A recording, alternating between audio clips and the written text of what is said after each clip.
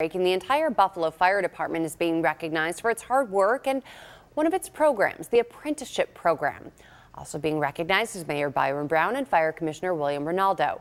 The Labor Commissioner was in town for a statewide tour promoting successful registered apprenticeship programs.